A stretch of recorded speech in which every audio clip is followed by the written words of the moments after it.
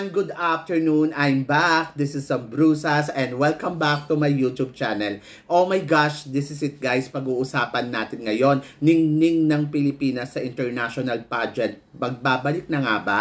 Yan ang tatalakayin natin ngayon. But before anything else, hello Philippines and hello beautiful people. Mabuhay! Kamusta kayong lahat? Sana lahat po kayo ay okay at safe ngayong araw na ito. At syempre, sa lahat naman ng mga bago nating subscribers, hello po sa inyo lahat. Maraming maraming salamat guys sa pag-subscribe nyo. Syempre dito sa channel ko. At syempre sa lahat naman ng makamamasam dyan na laging sumusuporta. Araw-araw, lagi-lagi. Maraming maraming salamat guys sa inyo lahat. Syempre, usapang international pageant tayo ngayon. So yon usapang powerhouse to.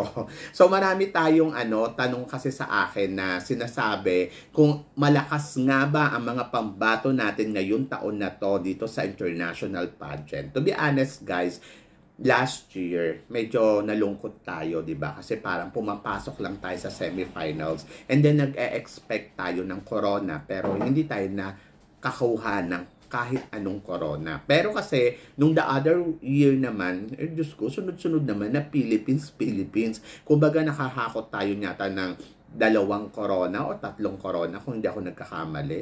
But, ako para sa akin ha, in weather weather lang yan hindi naman sa lahat ng oras ay kailangan nandiyan tayo nagshine ang importante napapanatili natin ang pagiging powerhouse ng ating bansa. At syempre ang mga taga-ibang bansa ay tinututukan nila talaga yung galing ng mga pambato natin. So ngayon ano ba ang mangyayari? Ano ba yung dapat natin i-expect sa mga kandidata na hinihintay natin na ilaban sa international pageant ngayon? To be honest, ah, para meron pa tayong dalawang ano o tatlo na hinihintay natin na kung sino ba yung mga ipap ipambato natin sa mga pageant na to. Ano dyan, syempre, yung Globe. Hinihintay natin kung sino mananalo sa Binibining Pilipinas Globe, di ba? So, yan, exciting din yan. And then, of course, Miss Grand Philippines. Ayan pa. Isa yan sa mga talagang kaabang-abang na dapat nating hintayin kung sino nga ba ang ilalaban natin sa Miss Grand.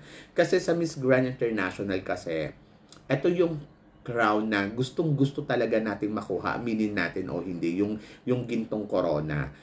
Pero medyo nahihirapan tayo kasi nga, well, hindi pa tayo pinapanalo dito. And then last year, umaasa tayo na ibibigay sa atin ng gintong corona. Every year naman eh But this time kasi bago yung org bago yung organization, bago yung national pageant, uh, national team. So tignan natin kung ano nga ba ang makukuha natin dito sa Miss Grand International after na mag-separate siya sa Binibining Pilipinas. Kung gaganda na ba yung position natin, makakasungkit na ba tayo ng corona, sino ba yung mga sasali ngayon sa Miss Grand Philippines, ayan yung mga dapat nating abangan.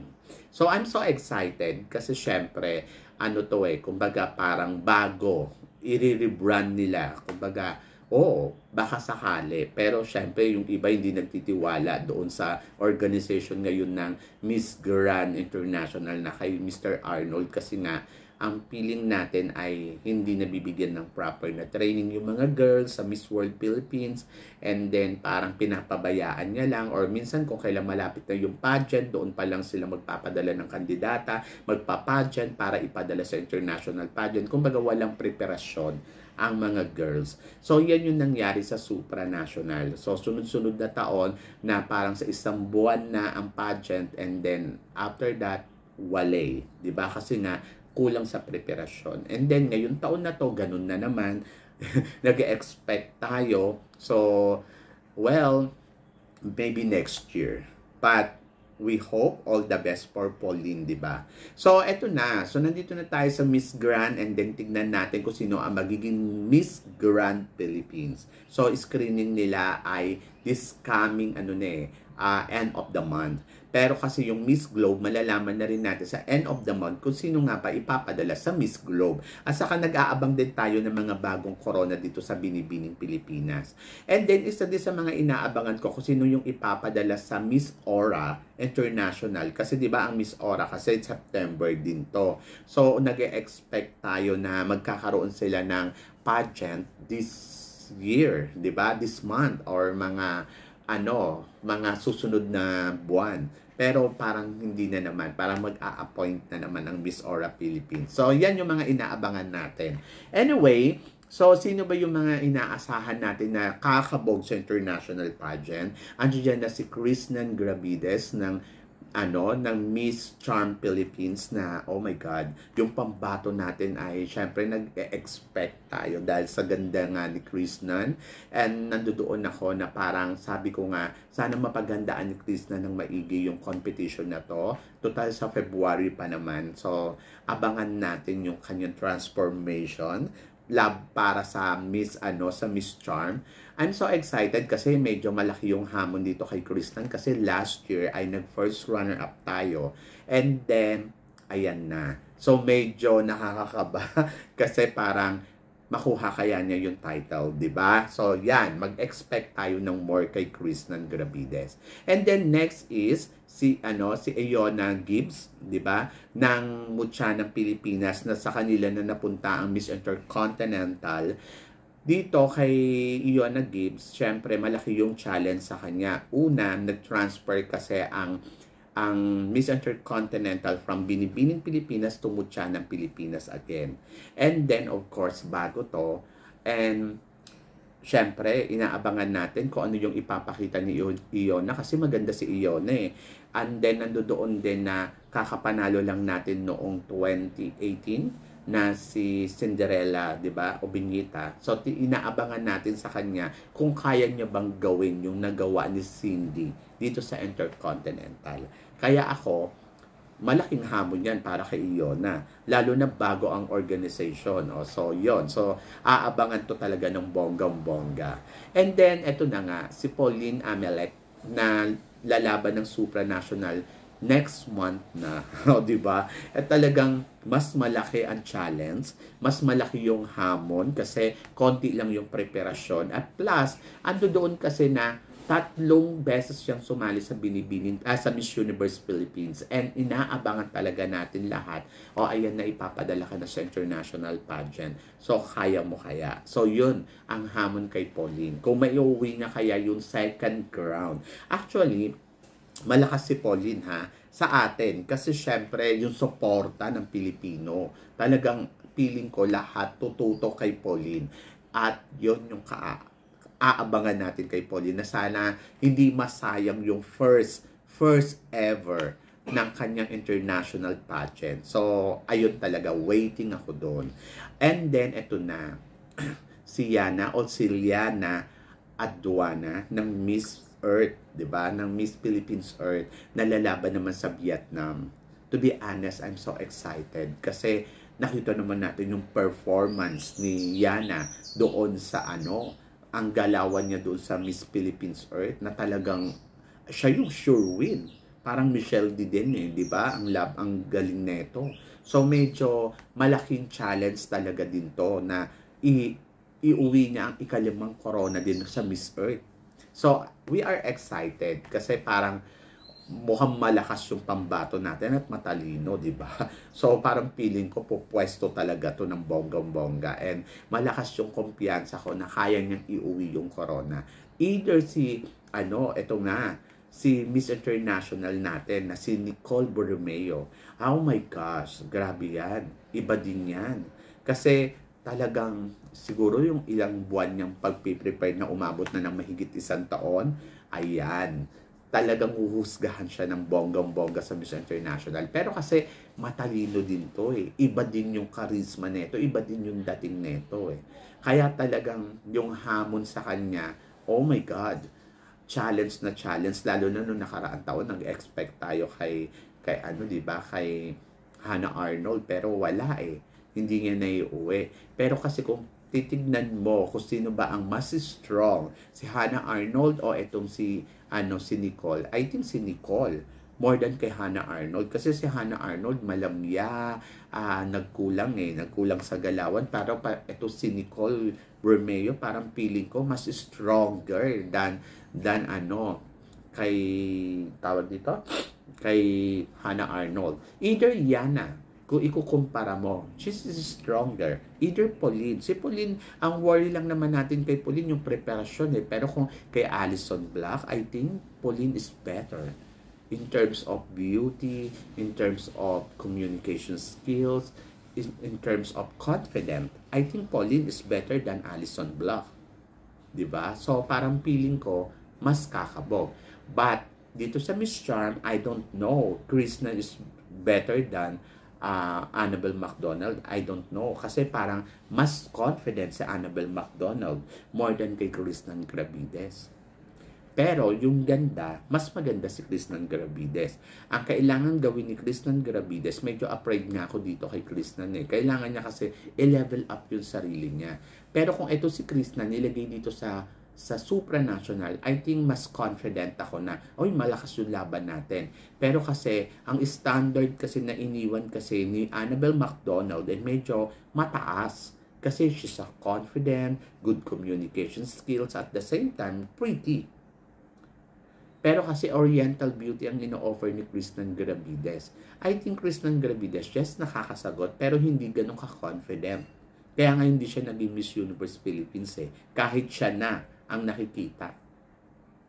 Kasi, ando doon yung nag-hold back pa rin siya. Because maybe first timer, uh, di ba?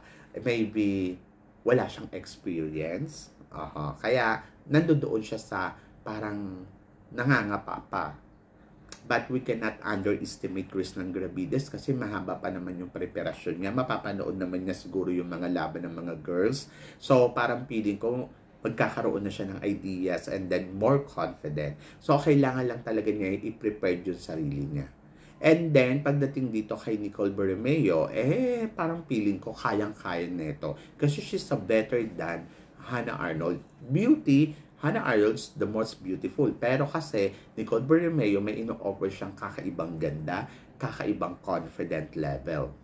And then Gwendolyn Foriol. Si Gwendolyn Foriol naman, to be honest, mas better yung pinadala natin more than kay Gwendolyn nung mga nakaraan sa laban natin sa Miss World. But I think nahinog na si Gwendolyn sa sobrang tagal niyang hindi lumalaban. But hindi ako maasa sa Miss World.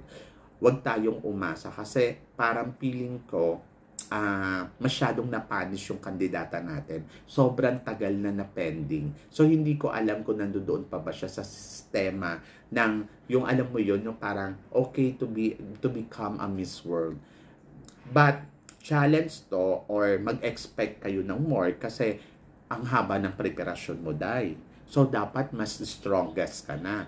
So, hindi na dapat yung katulad ng dati. Kasi parang, kumbaga, na, ano ka na dyan eh, tumanda ka na, kumbaga. So, tignan natin kung ano yung offer ni Gwendolyn. Pero para sa akin, hindi ko pa nakikikita na sasabihin mo, Gwendolyn, she's a fighter and I think she can get the crown. I don't know.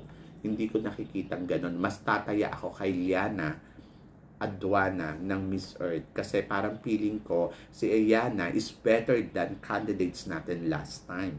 And then I think she's a fighter talaga. Yung dito pa lang, parang masasabi mo, oh my God, she's a sure win. Ganon.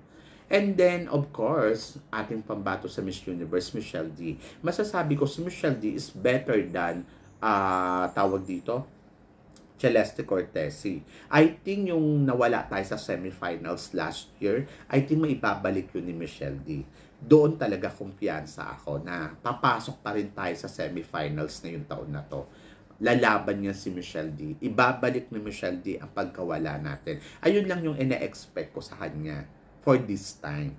Sa totoo lang, I'm not expecting na, nako baka ito ay makarating sa top 5, baka ito ay maging isang runners-up o mag-title holder. Minsan, nabibision ko kasi ngayon napapanood ko yung mga interview niya, nako mukhang malakas ang Michelle Dia, mukhang confident. Pero kasi syempre, iba yung confident din level na ibinibigay ng ibang kandidato sa international pageant. And then, of course, wag tayo masyado mag-expect. Nandoon lang tayo sa level na support tayo kay Michelle D and then tingnan natin kung ano yung preparasyon niya. But for now, talagang masasabi ko na mukhang may laban si Michelle D sa Miss Universe. And then, I think, kaya niyang ibalik sa semifinals ang ating bansa. So yun yun. Ayun talaga yung nakikita ko kay Michelle D. So wala akong ibang hinahangad kundi may ibalik ni Michelle D yung ang bansa natin sa semifinals. And I think siya gagawa no. 'Di ba?